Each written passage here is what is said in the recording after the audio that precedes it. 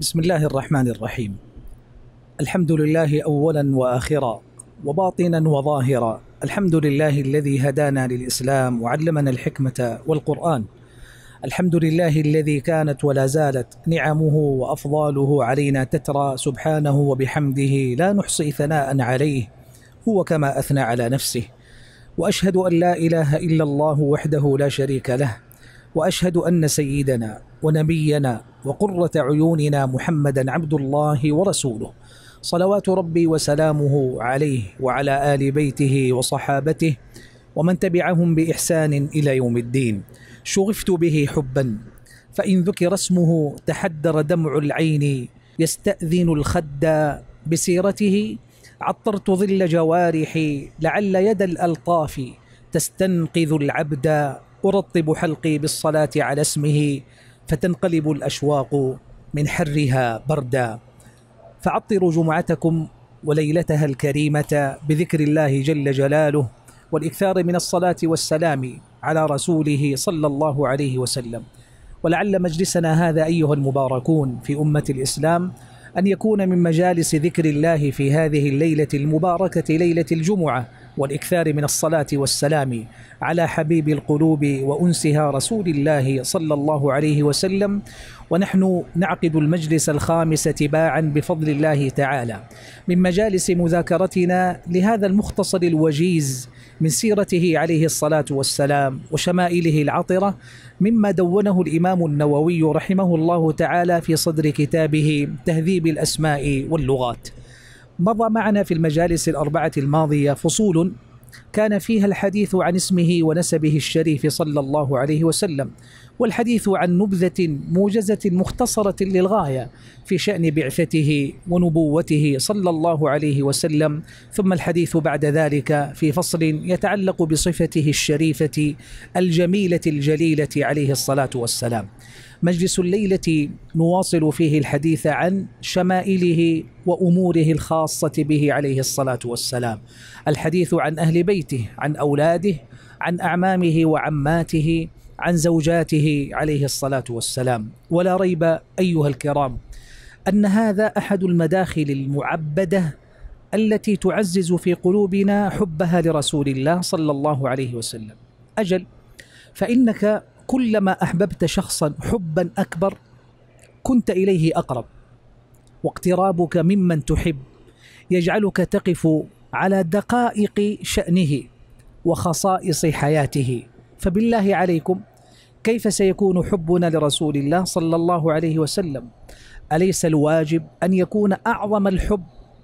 فإن كان كذلك فينبغي أن نكون في قربنا منه أشد القرب عليه الصلاة والسلام. ليس من نافلة القول ولا من فضول العلم أن نقف على أسماء أولاده وأزواجه وأهل بيته عليه الصلاة والسلام بل هذا من صميم الإيمان. أليس محبة آل بيت رسول الله عليه الصلاة والسلام واجبة؟ ألسنا نصلي عليهم جنبا إلى جنب مع صلاتنا على نبينا صلى الله عليه وسلم حين نقول اللهم صل على محمد وعلى آل محمد كما صليت على آل إبراهيم فهذا باب ينبغي العناية به وهو قربنا منه عليه الصلاة والسلام باقترابنا من شأنه ومعرفتنا بدقائق أمره وأقرب ذلك وأخصه الحديث عن أهل بيته عليه الصلاة والسلام. فهذه فصول مجلس الليلة بعون الله مبتدئين بفصل أولاده صلى الله عليه وآله وسلم. بسم الله والحمد لله والصلاة والسلام على رسول الله وعلى آله وصحبه ومن والاه. اللهم اغفر لشيخنا ولوالديه وللسامعين. قال المؤلف رحمه الله فصل أولاده صلى الله عليه وسلم. له صلى الله عليه وسلم ثلاثة بنين. القاسم وبه كان يكنى. ولد قبل النبوة وتوفي وهو ابن, سنتين. وعبد الله ويسمى الطيب والطاهر لأنه ولد بعد النبوة. وقيل الطيب والطاهر غير عبد غير عبد الله والصحيح الأول. والثالث إبراهيم ولد بالمدينة سنة ثمان ومات بها سنة عشر وهو ابن سبعة عشر شهرا أو ثمانية عشر شهرا. هؤلاء أولاده البنين صلى الله عليه وسلم. فهل حفظتم أسماءهم يا كرام؟ هؤلاء أبناء رسولنا صلى الله عليه وسلم. هم ثلاثة. القاسم وعبد الله وإبراهيم. قال له ثلاثة بنين. القاسم وبه كان يكنى عليه الصلاة والسلام فإن كنيته أبو القاسم. قال ولد قبل النبوة. وتوفي وهو ابن سنتين. وسيأتيكم أن كل أولاد رسول الله صلى الله عليه وسلم البنين والبنات توفوا قبله إلا فاطمة الزهراء رضي الله عنها فإنها ماتت بعده. وسيأتيكم أيضا أن أولاده البنين من أمنا خديجة رضي الله عنها وهم هؤلاء الاثنان القاسم وعبد الله ماتوا صغارا وكذلك إبراهيم من مارية القبطية رضي الله عن الجميع. قال المصنف رحمه الله القاسم وبه كان يكنى ولد قبل النبوة وتوفي وهو ابن سنتين. وعبد الله ويسمى الطيب والطاهر لأنه ولد بعد النبوة. وقيل الطيب والطاهر غير عبد الله والصحيح الأول. إشارة إلى خلاف يذكره بعض أهل العلم في أن من بني رسول الله صلى الله عليه وسلم من يقال له الطيب ومن يقال له الطاهر. فقيل هما اثنان. وقيل بل هما واحد يقال له الطيب ويقال له الطاهر. والصواب كما رجح المصنف رحمه الله أن الطيب والطاهر لقبان ووصفان. أن الطيب والطاهر لقبان ووصفان لابنه عبد الله لأنه ولد بعد النبوة. وهذا على قول وفي قول بخلافه أنه أيضا كان من المولودين قبل النبوة. قال رحمه الله والثالث إبراهيم ولد بالمدينة سنة ثمان. هذا الوحيد إبراهيم ابن رسول الله صلى الله عليه وسلم هو الوحيد من أولاده عليه الصلاة والسلام الذين ولد بعد النبوة الذين ولدوا في المدينة بعد الهجرة. وهو الوحيد أيضا الذي ولد لرسول الله صلى الله عليه وسلم من غير أم المؤمنين خديجة رضي الله عنها. فإن أولاده صلى الله عليه وسلم البنين والبنات كلهم من أمنا خديجة رضي الله عنها إلا إبراهيم فإنه من مارية القبطية رضي الله عنها. ولذلك قال المصنف ولد بالمدينة سنة ثمان وباقي إخوته من البنين والبنات كلهم ولد بمكة. قال ومات بها أي بالمدينة سنة عشر. وأما عمر إبراهيم حين وفاته فقال مات بها سنة عشر وهو ابن سبعة عشر شهرا أو ثمانية عشر شهرا. يعني السنة والنصف تقريبا. فسنة ونصف هي عمر إبراهيم ابن رسول الله صلى الله عليه وسلم عند وفاته. حزن عليه الصلاة والسلام عند وفاة ابنه إبراهيم. وقال كما في صحيح البخاري إن العين لتدمع وإن القلب ليحزن وإنا على فراقك يا إبراهيم لمحزونون. واسترجع صلى الله عليه وسلم قائلا ولا نقول إلا ما يرضي ربنا. فرح به النبي عليه الصلاة والسلام يوم ولد وقال ولد, لل ولد لي الليلة ولد وأسميته باسم أبي إبراهيم. سماه على اسم أبيه الخليل إبراهيم عليه السلام. لكنه مات صغيرا كأخويه السابقين القاسم وعبد الله. وقد قال بعض أهل العلم إن من الحكمة الإلهية في ذلك أي في موت أولاده البنين صلى الله عليه وسلم صغارا قبل أن يشبوا ويكبروا حكم عدة. منها أن الله عز وجل أعظم الابتلاء لنبيه عليه الصلاة والسلام بفقد الأولاد. ولكم أن تتخيلوا أنه فقد أولاده الستة وبقيت فاطمة فقد الستة في حياته. وهذا فقد جلل أن يفقد الإنسان أولاده في حياته صغارا كانوا أو كبارا وكل ذلك وجده نبينا عليه الصلاة والسلام. ففقد البنين صغارا وفقد البنات كبارا. وهذا من عظيم الابتلاء ولا شك لكنه من عظيم مقام الأنبياء الكرام عليهم السلام عند رب العزة والجلال. ولهذا قال عليه الصلاة والسلام أشد الناس بلاء الأنبياء. ثم الأمثل فالأمثل. فهذا ولا شك من عظيم الابتلاء الذي يعظم به لهم الأجر والجزاء عليهم وعلى نبينا أفضل الصلاة والسلام. وحكمة أخرى تتجلى في أن باب النبوة الذي أراد الله عز وجل أن يختمه برسولنا وإمامنا وقدوتنا عليه الصلاة والسلام أغلقت دونه الذرائع التي قد يتعلق بها بعض البشر عندما تضعف القلوب أو يضعف العلم بها. ذلك أن أبناء الذوات وأصحاب المناصب والجاه غالبا ما تتعلق القلوب بهم. فأبناء الملوك والسلاطين وأبناء العلماء والأولياء أبناء الأنبياء عليهم السلام قد يكون ذريعة لتعلق القلوب بهم والتفاف الناس من حولهم في الوقت الذي أراد الله أن تختم فيه النبوة برسول الله صلى الله عليه وسلم فأغلق هذا الباب لئلا يتعلق بهم أحد وتختم النبوة برسول الله صلى الله عليه وآله وسلم. إلى غير ذلك من الحكم الإلهية التي لا يعلمها إلا الله عز وجل. فهؤلاء ثلاثة أبناء لرسولنا وحبيبنا عليه الصلاة والسلام. فقدهم ثلاثتهم أطفالا صغارا. فقد القاسم وعبد الله بمكة عندما كان في ظل حياته الأسرية مع خديجة رضي الله عنها. وفقد إبراهيم بالمدينة سنة ثمان من الهجرة يعني السنة التي انتشر فيها الإسلام وعم فيها الخير وفتحت مكة لكن كان الفقد العظيم بولده إبراهيم أمرا عظيما ومصابا جللا.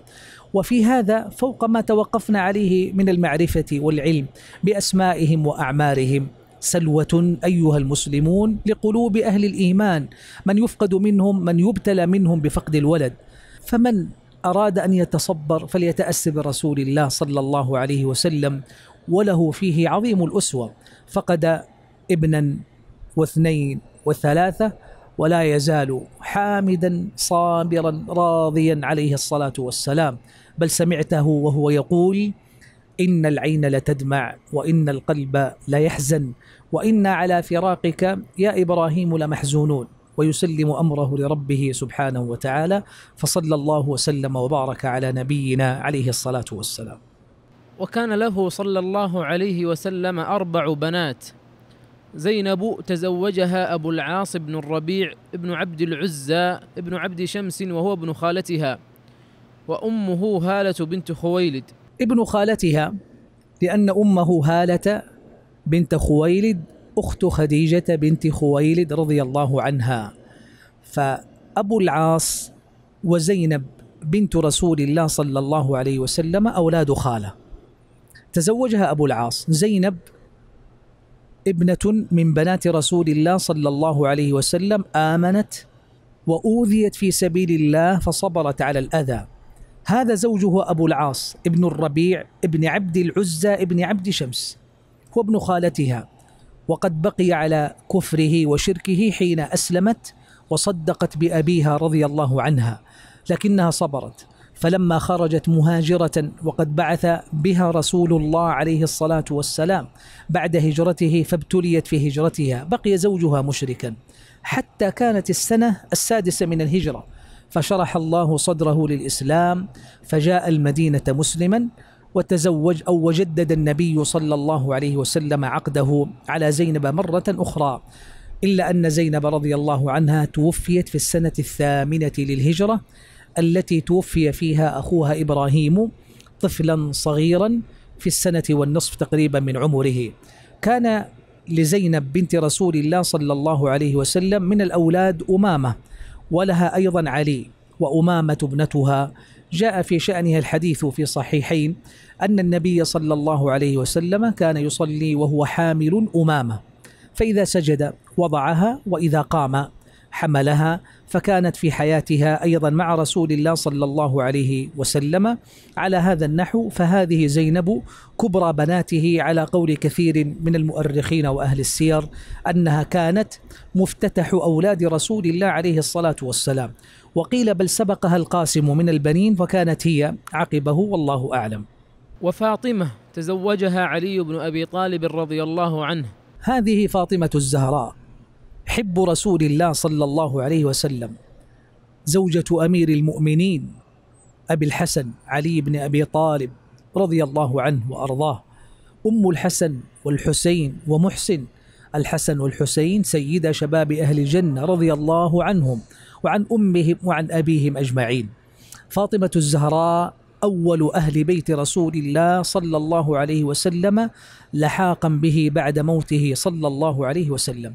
فاطمة الزهراء التي أشبهت رسولنا صلى الله عليه وسلم وأحبته وهي الوحيدة الباقية من أولاده حتى مماته عليه الصلاة والسلام سيرتها عطرة وشأنها عظيم وقد فضل الإسلام مكانتها ورفع قدرها ولدت قبل البعثة بخمس سنوات. يعني على القول الصحيح أنها هي وأخواتها مولودات جميعا قبل أن تنزل النبوة على رسول الله صلى الله عليه وآله وسلم. وقد تقدم أنها رضي الله عنها ممن عاش بعده عليه الصلاة والسلام وإن كانت مدة صغيرة. قيل إن فاطمة أصغر من أخواتها زينب ورقيه وأم كلثوم. وقيل بل هي بين زينب وأم كلثوم والفرق بين هذا وذاك يسير والقول فيه قريب عند أهل العلم. نعم. ورقية وأم كلثوم. تزوجه تزوجهما عثمان بن عفان رضي الله عنه. تزوج رقية ثم أم كلثوم وتوفيتا عنده. ولهذا سمي ذا النورين. توفيت رقية يوم بدر في رمضان سنة اثنتين من الهجرة. وتوفيت أم كلثوم في شعبان سنة تسع من الهجرة. رقية وأم كلثوم. رقية رضي الله عنها أصغر من زينب بثلاث سنوات تقريبا كما يقول بعض أهل العلم. هي أيضا أسلمت مع أبيها صلى الله عليه وسلم. تزوجها أولا عتبة بن أبي لهب. ولما بعث رسول الله صلى الله عليه وسلم وجاء بالدين الحق ودعا الناس إليه وتصدر أبو لهب بالكفر والعناد والحرب على رسول الله صلى الله عليه وسلم أمر ابنه عتبة بتطليقها فطلقها فكان خيرا لها رضي الله عنها. فهو ابن عمها اذا عتبة بن أبي لهب. فلما طلقها تزوجت بأمير المؤمنين عثمان رضي الله عنه فأبدلها ربها جل جلاله برجل إمام من أئمة المسلمين بل وخليفة. من الخلفاء الراشدين من السابقين إلى الإسلام والعشرة المبشرين. وكانت في صحبتها بزواجها من عثمان رضي الله عنه قد نالت المناقب. فهاجرت الهجرتين إلى الحبشة اولا ثم إلى المدينة. فكانت من الصحابة القلائل الذين ظفروا بهذه المنقبة. مرضت رضي الله عنها وأبوها رسول الله صلى الله عليه وسلم يتجهز لغزوة بدر فماتت في مرضها. ولذلك تخلف عثمان رضي الله عنه عن غزوة بدر لأنه كان يرافقها ويطببها. فتخلف عن غزوة بدر لهذا السبب. والذين يشنعون إفكا وعدوانا على أمير المؤمنين عثمان رضي الله عنه بعدم شهوده غزوة بدر يتجاوزون مثل هذا الموقف العظيم الذي كان منه لزوجه رقية بنت رسول الله صلى الله عليه وسلم. فلما توفيت أكرمه الله عز وجل. أكرم عثمان بن عفان رضي الله عنه بالزواج من أم كلثوم البنت الأخرى لرسول الله صلى الله عليه وسلم. هل هو كنية لها أم كلثوم؟ قيل هو اسمها ولا يعرف لها في الأخبار والسير. اسم آخر فهو كما تقول في الأسماء التي تحمل صيغة الكنية كأبي بكر. وأم كلثوم علم فأصبح اسما. تزوجها عثمان رضي الله عنه بعد وفاة أختها رقية ومن هنا لقب الخليفة الراشد عثمان رضي الله عنه بذي النورين لأنه ظفر بالزواج من اثنتين من بنات رسول الله صلى الله عليه وآله وسلم. توفيت أم كلثوم سنة سبع وقيل سنة تسع من الهجرة ولم تنجب لعثمان رضي الله عنه ولدا. ورقية رضي الله عنها تقدم أنها ماتت في السنة الثانية من الهجرة فكان بين وفاة الأختين عند الخليفة الراشد عثمان رضي الله عنه ما يقارب السبع سنوات على قول أو خمس سنوات على القول الآخر. فهؤلاء إذا أربع بنات يا أمة الإسلام لنبي الإسلام صلى الله عليه وسلم زينب ورقية وأم كلثوم وفاطمة رضي الله عنهن جميعا. وثلاثة أبناء تقدم ذكرهم القاسم وعبد الله وإبراهيم. فاحفظوا أسماءهم وأسماءهن. وحفظوهم لأولادكم وبنيكم وبناتكم. وانشروا هذا فإنه والله من القرب الشديد برسول الله صلى الله عليه وسلم. الذي نستحث فيه القلوب لتستجمع حبها لأعظم من يجب أن تتوفر في القلوب دواعي المحبة له عليه الصلاة والسلام. واعلموا أن اقترابنا من سيرته بمعرفة أولاده عليه الصلاة والسلام يزيدنا منه قربا وله عليه الصلاة والسلام حبا. بل والله إننا لنجد القلوب التي تشتغل بمن تحب تقترب أكثر من ذلك القرب. ولست بحاجة إلى أن أقول إن جيلنا من الشباب والفتيات لما اقتربت قلوبهم وتعلقت ببعض الأسماء اللامعة من بعض المشاهير هنا وهناك اقتربوا لمعرفة أخبارهم ومتابعة دقائق حياتهم فيعرف مسكنه وأسرته وأولاده بل حتى لباسه وطعامه وشرابه. والله ليس أحد أولى بأن يكون له في القلوب المساحة الوافرة من الحب الكامل أكثر من رسول الله صلى الله عليه وسلم. وذلك يستدعي لا محالة أن نكون أكثر قربا واقترابا واغترافا وإحاطة بشأنه الدقيق الجليل الصغير والكبير عليه الصلاة والسلام. لأننا بذلك والله نزيد في ترسيخ جذور هذه المحبة وتعميقها. ونكتسب بذلك مزيدا من القرب الوافر الكريم الذي نحن والله أول من نجني ثمراته حبا وطاعة وإيمانا برسول الهدى والرحمة عليه الصلاة والسلام. نعم. فالبنات أربع بلا خلاف والبنون ثلاثة على الصحيح. إشارة إلى أن البنات لم يرد فيهن خلاف في العدد ولا في الأسماء. زينب، رقية، أم كلثوم، فاطمة رضي الله عنهم عنهن جميعا. أما البنين فقد تقدم أن الخلاف في الطيب والطاهر هل هما ابنان أم هما ابن واحد أم هما لقبان لولده عبد الله؟ والصواب هذا ولذلك قال والبنون ثلاثة على الصحيح. نعم. وأول من ولد له القاسم ثم زينب ثم رقية ثم أم كلثوم ثم فاطمة وجاء أن فاطمة رضي الله عنها أسن من أم كلثوم. هذا ترتيب أولاده عليه الصلاة والسلام من حيث السن وتقدم الولادة. قال أول من ولد له القاسم ثم البنات زينب فرقية فأم كلثوم ففاطمة. ثم يأتي بعد ذلك عبد الله الذي ولد بعد النبوة ويأتي بعد ذلك في المدينة سنة ثمان من الهجرة أو سنة ست من الهجرة ابنه إبراهيم. وهذا الترتيب كما قال هو على الصحيح أو هو على القول أحد الأقوال. إنما في الغالب أن القاسم آه، على قول أنه أكبر أولاده وفي الآخر أن زينب ولدت قبله. فأيا كان ترتيب البنات زينب فرقية فأم كلثوم ففاطمة. نعم وجاء وجاء أن فاطمة رضي الله عنها أسن من أم كلثوم. يعني أكبر منها سنا أي ولدت قبلها. نعم. ذكر ذلك علي بن أحمد بن سعيد بن حزم أبو محمد الحافظ. الإمام ابن حزم الإمام الفقيه الظاهري المحدث المؤرخ رحمة الله عليه. ثم في الإسلام عبد الله بمكة ثم إبراهيم بالمدينة. أي ثم ولد في الإسلام ابنه عبد الله بمكة ثم إبراهيم بالمدينة. إذا فقد تقدم أن ستة من أولاده السبعة هم من أم المؤمنين خديجة رضي الله عنها. ولم يرزق صلوات الله وسلامه عليه ولدا من غيرها.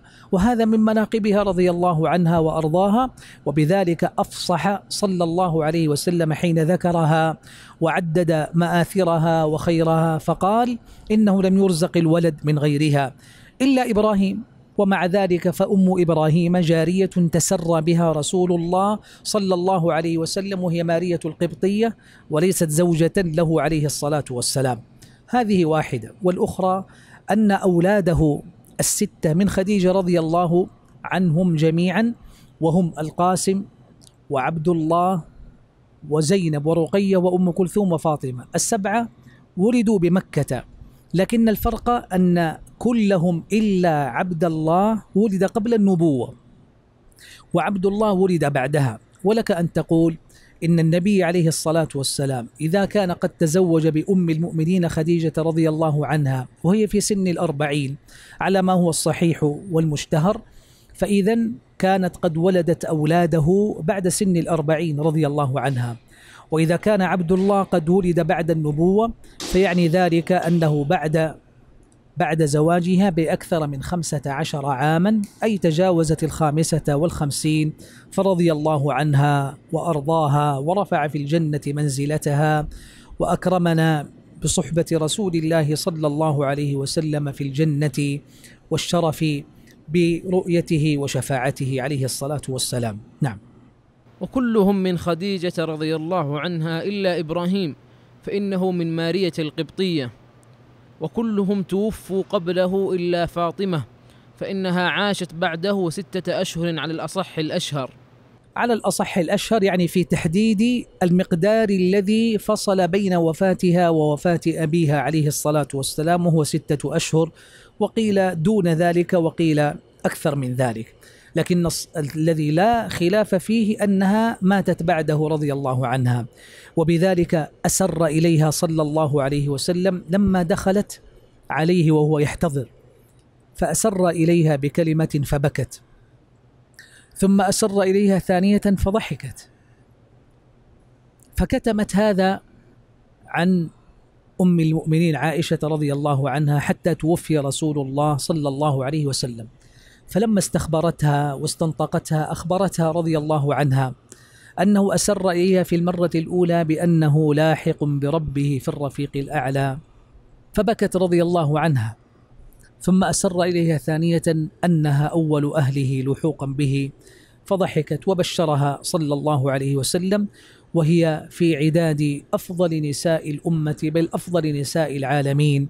رضي الله عنها وأرضاها ومناقبها عظيمة شهيرة جليلة حسبك قول النبي صلى الله عليه وسلم عنها إنها بضعة منه عليه الصلاة والسلام. فصل أعمامه وعماته صلى الله عليه وسلم.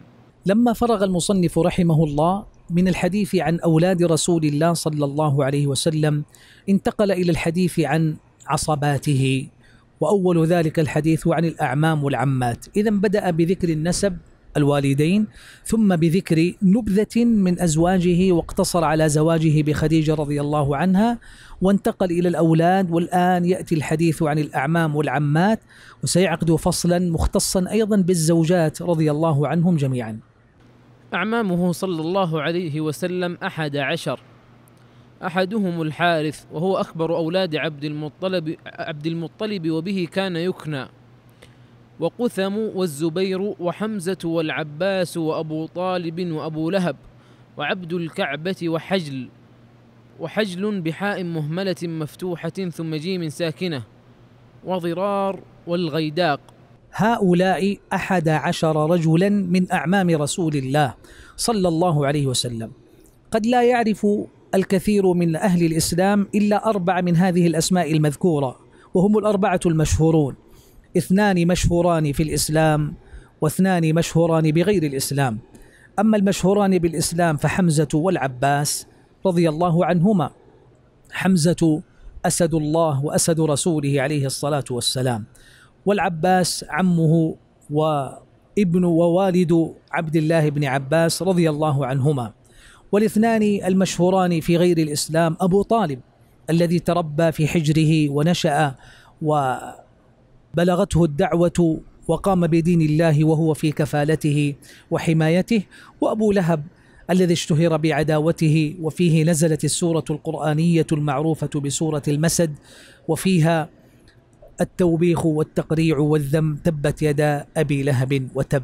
هؤلاء الأربعة المشهورون غالبا لكنهم في عدادهم أحد عشر عما من أعمام رسول الله صلى الله عليه وسلم.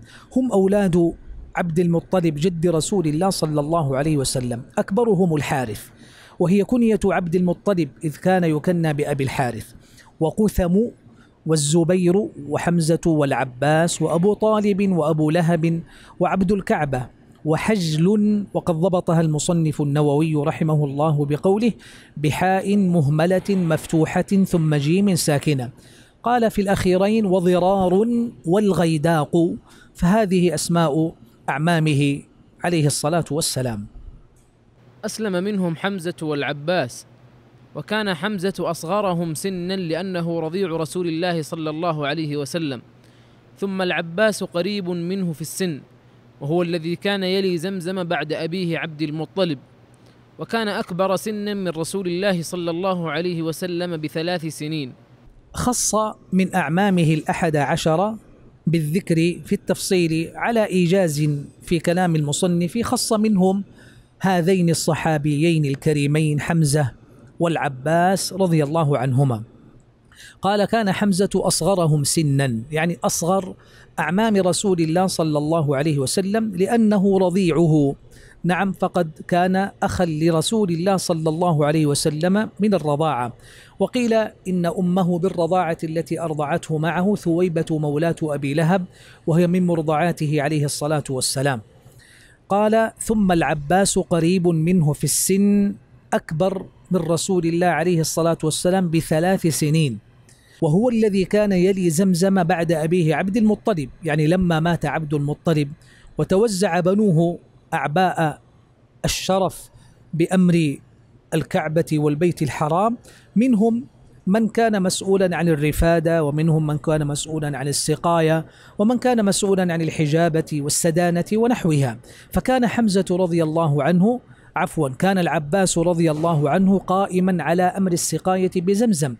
فكان يتولى زمزم بعد أبيه عبد المطلب أن يقوم على سقايتها وصورة ذلك أن بئر زمزم التي تبعد عن الكعبة أمتارا معدودة كان يقف الناس عليها يستقون من فم البئر مباشرة إلى عهد قريب فكان يدلى الدلو ويستخرج الناس منه الماء. ثم لما تطورت الأمور وتنظمت الأحوال بالمسجد الحرام وترتيبات البيت الحرام وخدمته في هذا العهد المبارك الزاهر زال آه، إغلاق آه، فم البئر وتحولت المسألة إلى ترتيب وتقنية يستقي منه الناس ماء زمزم مبردا ومهيئا على أحسن ما يكون. فلما كانت الناس تستقي من فم البئر مباشرة كان ولا بد أن يقف على البئر من يتولى الترتيب والتنظيم وكانت هذه مهمة السقاية التي تتولاها قريش وتتوارثها كابرا عن كابر لشرف القيام بهذا العمل في قرب بيت رسول في قرب بيت الله جل جلاله عند الكعبة المعظمة. وقد كان قد كان العباس وأولاده قائمين على هذا الأمر يعني سقاية الناس بزمزم لا سيما في المواسم. ولذلك فقد جاء في الصحيح أن النبي صلى الله عليه وسلم لما حج حجة الوداع وجاء عند الكعبة وطاف جاء يستسقي عليه الصلاة والسلام فأتى وعمه العباس عند زمزم فقال اسقني. فالتفت العباس إلى أحد بنيه فقال له انطلق إلى أمك فأتني بشراب من عندها يعني من البيت. أراد أن يقدم لرسول الله صلى الله عليه وسلم شرابا طيبا مبردا مهيئا أحسن وألطف وأطيب مما يستقي الناس منه في البئر. فأعاد النبي عليه الصلاة والسلام فقال اسقني. يعني أراد أن يشرب من البئر. فلما كرر مرتين أو ثلاثا ناوله فشرب عليه الصلاة والسلام ثم أشاد بشرف السقاية قائلا لهم اعملوا بني عبد المطلب فإنكم على عمل صالح. يعني السقاية على زمزم. فقال ولولا أن تغربكم الناس لأخذت هذا الحبل فجعلته على عاتقي وسقيت معكم. أراد أنه لولا خشية هذا الأمر لأخذ الحبل واستقى به دلوا من بئر زمزم فخشي أن يتتابع الناس في الأمة على الاقتداء به عليه الصلاة والسلام فيزاحمون بني عبد المطلب شرف السقاية فتؤخذ من أيديهم بطريق غير مباشر. هذا شيء من الإلماحة عن مقام حمزة والعباس رضي الله عنهما. أسلم العباس قديما بمكة وأخفى إسلامه على القول الصحيح عند المؤرخين حتى فتحت مكة. وأما حمزة فأسد وجند من جنود الله أسلم مبكرا. وقد كان إسلامه نصرا بمكة وعزا بها وهو يدافع عن رسول الله عليه الصلاة والسلام ويجهر بإسلامه كيف لا وهو أحد أشراف قريش وساداتها بل حسبكم أنه ابن عبد المطلب.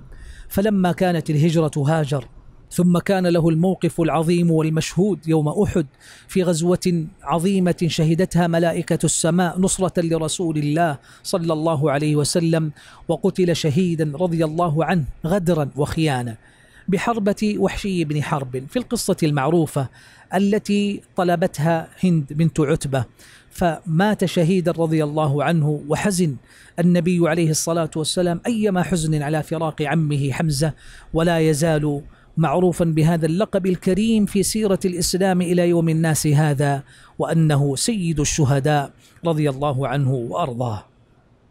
وعماته صلى الله عليه وسلم ست صفية أسلمت وهاجرت وهي أم الزبير بن العوام توفيت بالمدينة في خلافة عمر بن الخطاب رضي الله عنها وهي أخت حمزة لأمه. عمات النبي عليه الصلاة والسلام ست وقد تقدم أن أعمامه أحد عشر وهو يقارب النصف تقريبا فعدد أعمامه ضعف عدد عماته.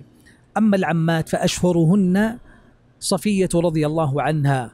كيف لا تكون شهيرة وهي أم الزبير بن العوام حواري رسول الله صلى الله عليه وآله وسلم؟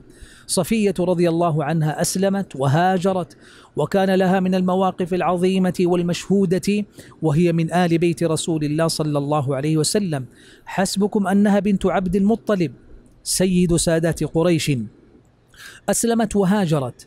توفيت في خلافة عمر رضي الله عنه بالمدينة هي أخت حمزة بن عبد المطلب لأمه رضي الله عنها وأرضاها. نعم. وعاتكة قيل إنها أسلمت وهي التي رأت رؤيا غزوة بدر وقصتها مشهورة. عاتكة بنت عبد المطلب ثاني عمات رسول الله صلى الله عليه وسلم. قال المصنف قيل إنها أسلمت. يشير إلى الخلاف بين المؤرخين وأهل السير في إسلامها رضي الله عنها وأرضاها. هي التي رأت رؤيا غزوة بدر قال المصنف وقصتها مشهورة. وملخص ذلك أنها رأت رؤيا مفزعة بمكة قبل الهجرة وذلك في آه، في إرهاصات وبوادر غزوة بدر ببدر. وملخصها أنها لما رأت الرؤيا المفزعة أرسلت إلى أخيها العباس بن عبد المطلب تنشده عن شأن الرؤيا وموجز الرؤيا أن رأت راجلا أو راكبا في الرؤيا مقبلا على بعير له يستصرخ الناس وينادي بهم بأعلى صوته في الأبطح وهو في ضواحي مكة. يا يا لغدر يا لمصارعكم في ثلاث. يحذر بأنه في ثلاثة أيام سيكون مقتلة ويكون شأن عظيم ويكون مصرع كبير. ثم تبعوه إلى المسجد ثم ظهر به بعيره على الكعبة ثم استصرخهم مثل المرة الأولى ثم ظهر به بعيره على جبل أبي قبيس وهو من الجبال المطلة على الكعبة فأرسل عليهم صخرة فتفتتت. فما بقي بيت في مكة إلا دخله منها أي من فتات الصخرة التي تحطمت. كانت هذه الرؤيا التي رأتها فأخبرت بها العباس وتحدث بها بعض آل عبد المطلب كانت سببا في تثبيط أبي لهب عن الخروج لبدر وتقاعسه لما شعر أنها رؤيا شؤم فيها من التعبير ما يعني المصرع والقتل الذي سينالهم. وهكذا كان نصرة من الله لرسوله صلى الله عليه وسلم. وبرة وأروى وأميمة وأم حكيم وهي البيضاء. بقية العمات الست غير صفية وعاتكة برة وأروى وأميمة وأم حكيم وهي المشهورة بالبيضاء. فهؤلاء عمات رسول الله صلى الله عليه وسلم ست صفية وعاتكة وبرة وأروى وأميمة وأم حكيم. والأعمام قد تقدم أنهم أحد عشر الحارث وقثم والزبير وحمزة والعباس وأبو طالب وأبو لهب وعبد الكعبة وحجل وضرار والغيداق. قيل الغيداق سمي بذلك لأنه كان جوادا كثير البذل والعطاء وإطعام الناس الطعام فسمي بالغيداق يعني من الإغداق الذي فيه فيض الكرم وبذل وعطاء وجود كبير. هؤلاء أحد عشر عما وست عمات لرسولنا صلوات الله وسلامه عليه. فصل في أزواجه صلى الله عليه وسلم. هذا تتمة للحديث عن آل بيت رسول الله صلى الله عليه وسلم وسيعقبه المصنف بالموالي والخدم لتقف على صورة عن قرب عن كثب تقترب أكثر من حبيبك رسول الله صلى الله عليه وسلم. وها أنت ذا عرفت الأعمام والعمات المسلم منهم والكافر. وأنت عرفت الأولاد البنين والبنات. فهؤلاء أمهاتك عبد الله. هؤلاء زوجات رسول الله صلى الله عليه وسلم أمي وأمك. من فينا الذي يجهل اسم أمه؟ فإذا سئل نسي أو تناسى. مثل هذا لا يليق. هؤلاء أمهاتنا حري بنا أن نعرفهن وأخبارهن وشأنهن. أما إن الفصل هذا موجز مختصر مقتضب تماما. ليس فيه التعرض لأخبارهن ولا سيرهن وإني والله لأوصي وأنصح وأشدد الحرص على أن يكون لنا إقبال وأن يكون لنا اغتراف أكبر في شأنهن فوالله ما اختارهم رب العزة والجلال ما اختارهن الله عز وجل زوجات لنبيه عليه الصلاة والسلام. يشاركنه حياة النبوة إلا لفضل وشرف وخير ومنقبة. أفلا نستدل وندل أولادنا من ورائنا البنين والبنات على هذا الخير في الحياة الأسرية لهذا البيت الطاهر؟ لهؤلاء الزوجات الكريمات أعظم زوجات في التاريخ على وجه الأرض زوجات رسول الله صلى الله عليه وسلم ورضي الله عنهن إي والله وأعطر سيرة وأجمل بيت أسري عرفته البشرية بيت رسول الله محمد صلى الله عليه وسلم. هؤلاء الزوجات ركن من أركان بيت النبوة بل هو ركنه الأعظم هو عموده الأكبر. اقترابنا من أزواجه عليه الصلاة والسلام، مع أن المصنف هنا لم يتجاوز ذكر الأسماء فقط والتعداد وذكر من مات قبلها وماتت قبله ليس أكثر من ذلك، لكن والله الحاجة يا أمة الإسلام أكبر من هذا بكثير، وهناك متسع والمصنفات في هذا حافلة. ولو فتحتم أي كتاب من كتب سير الصحابة وأخبارهم لوقفتم على نبذة لطيفة وعلى سيرة عطرة مشرقة. لكن المصنف رحمه الله اقتصر على هذا القدر الذي سنقرأه الآن. نعم. أولاهن خديجة ثم سودة ثم عائشة ثم حفصة وأم حبيبة.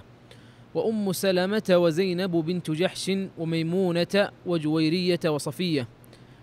وسنذكرهن في تراجمهن إن شاء الله تعالى. نعم.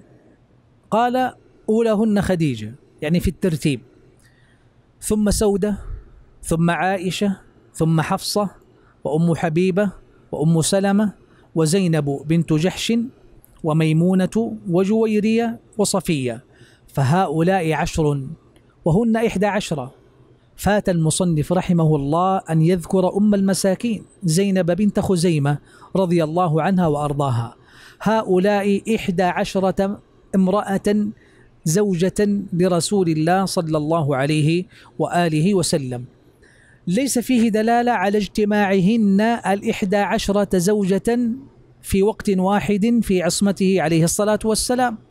بل حسبكم أن تعلموا أن خديجة رضي الله عنها لم يشاركها في حياتها مع رسول الله صلى الله عليه وسلم ضرة منهن قط فكلهن لم يتزوج بهن إلا بعدها رضي الله عنهن جميعا.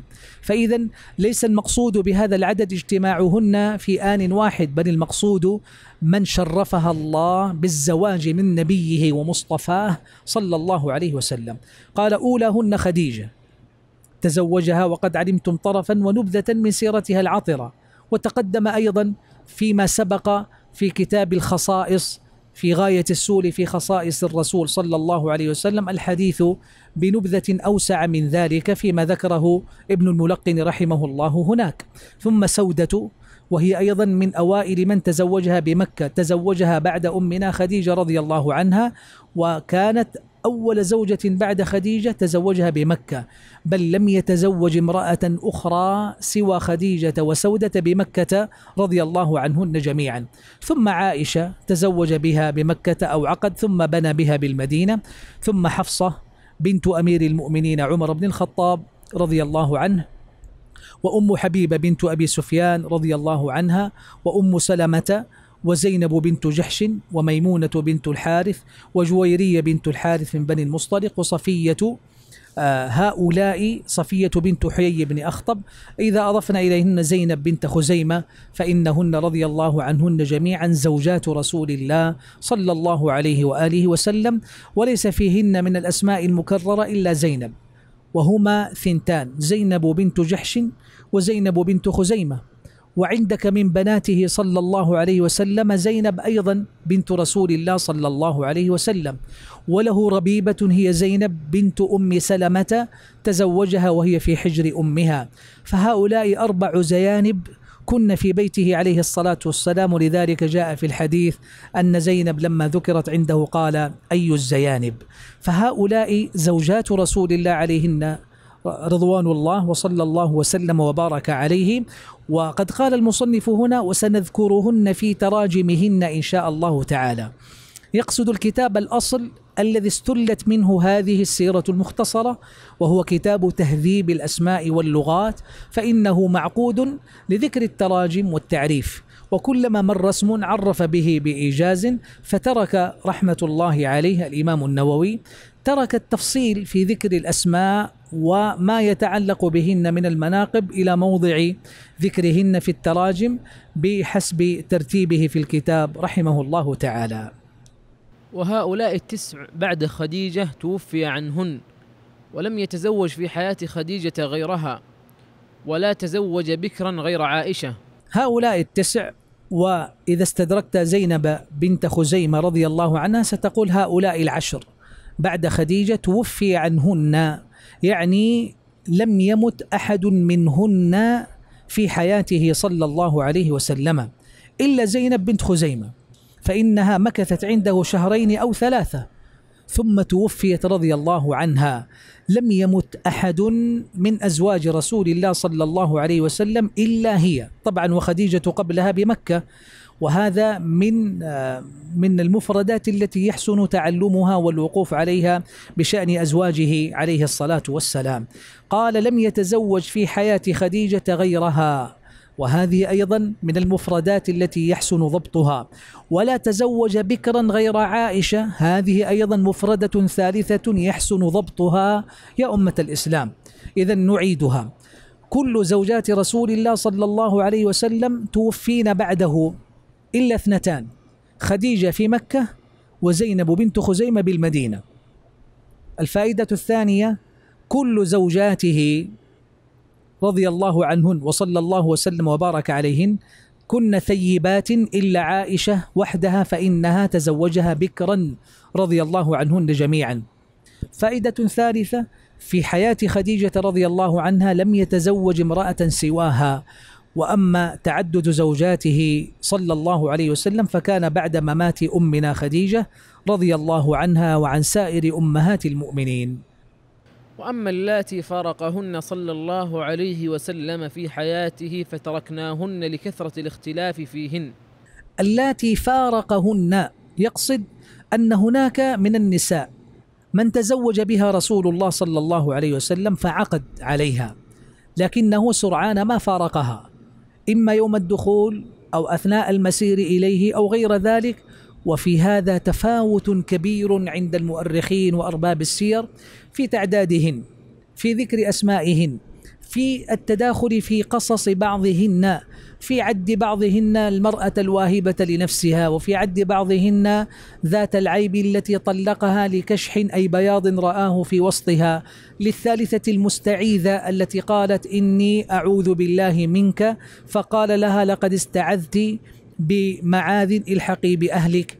على التفاوت الكبير لكن الصحيح الثابت أنه كان في حياته عليه الصلاة والسلام غير هؤلاء الزوجات أمهات المؤمنين رضي الله عنهن لكنهن لم يظفرن بشرف الزوجية والانتساب لآل بيته عليه الصلاة والسلام ولعدم الضبط في عددهن وأسمائهن على وجه يقطع بالجزم بصحته قال المصنف رحمه الله في عبارة مركزة مختصرة قال أما اللاتي فارقهن في حياته صلى الله عليه وسلم فتركناهن لكثرة الاختلاف فيهن. وأحسن المصنف رحمه الله في هذا فإن الاختلاف فيهن كبير. قال الإمام الحافظ ابن عبد البر رحمه الله وأما اللواتي اختلف فيهن ممن ابتنى بها وفارقها أو عقد عليها ولم يدخل بها أو خطبها ولم يتم له العقد منها فقد اختلف فيهن. وفي أسباب فراقهن اختلافا كثيرا يوجب التوقف عن القطع بالصحة في واحدة منهن. ولهذا قلت إن المصنف رحمه الله أحسن لما تجاوز ذلك بقوله تركناهن لكثرة الاختلاف فيهن. وكانت له سريتان ماري مارية وريحانة بنت زيد وقيل بنت شمعون ثم أعتقها. هؤلاء ثنتان من الجواري. الجارية إذا وطئها سيدها أصبحت سرية. لأنها أصبحت أم ولد فإنه بمعاشرتها تحمل من سيدها فيكون لها من الحكم المختص بها عن سائر الجوار والإماء أن تكون سرية. ومعنى سرية الأمة التي تحل في البيت. قيل سميت سرية لأن الإنسان يسر معاشرتها عن زوجته كما في الصحاح للأزهري ثنتان سريتان لرسول الله عليه الصلاة والسلام. مارية القبطية وهي أم ولده إبراهيم وتقدم ذكرها. والثانية ريحانة بنت زيد وقيل بنت شمعون أعتقها وهي من بني النظير من اليهود أسلمت رضي الله عنها وأرضاها. روينا عن قتادة قال تزوج النبي صلى الله عليه وسلم خمس عشرة امرأة. فدخل بثلاث عشرة وجمع بين إحدى عشرة وتوفي عن تسع. هذا إيجاز في عدده بعض القول المأثور عن أهل العلم. قال قتادة تزوج النبي صلى الله عليه وسلم خمس عشرة امرأة والمقصود بالتزوج هنا العقد. ولذلك قال دخل بثلاث عشرة. إذا ذهبت ثنتان كتب العقد فلم يتم الدخول أو لم يتم أمر الابتناء بها. واللاتي دخل بهن ثلاث عشرة امرأة لم يجتمعن في آن ولذلك قال وجمع بين إحدى عشرة فاجتمع له في آن واحد في أقصى ما يكون العدد إحدى عشرة امرأة رضي الله عنهن جميعا.